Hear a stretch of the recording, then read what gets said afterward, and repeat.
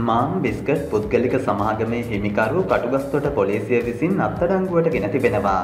ඒසිය ආයතනයේ සේවකයෙකු ලබා ඔහුට අයත් ගිනි අවි කිහිපයක් සැඟවීමට උත්සාහ කිරීමේදී එම ආයතනයේ ආරක්ෂක අංශයේ ප්‍රධානියා ලෙස සේවය කරන අදාළ සේවකයා පිස්ටල් හා වායු රයිෆල් දෙකක් රැගෙන යද්දී කටුගස්තොට පාලම අසල ඇති ගටිකාරාම මාර්ග බාධකය අසලදී පොලිසිය විසින් අත්අඩංගුවට ගෙන තිබෙනවා.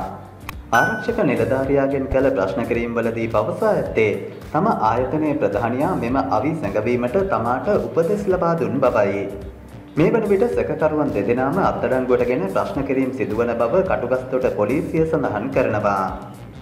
දිනපතා අලුත්ම පුවත් දැනගැනීමට පහත බටන් එක ක්ලික් කර අපව සබස්ක්‍රයිබ් කරන්න. ඒ වගේම කුඩා සීනුව එබුවොත් අලුත් වීඩියෝ දාපු ගමන් ඔබට දැනගන්නටත් පුළුවන්.